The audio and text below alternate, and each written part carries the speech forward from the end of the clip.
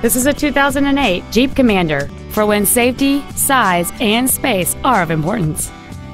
It has a 3.7 liter six cylinder engine, an automatic transmission, and four wheel drive.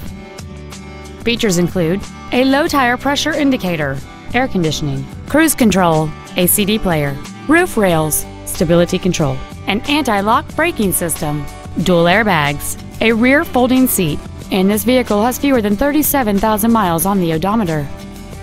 Contact us today to schedule your opportunity to see this automobile in person.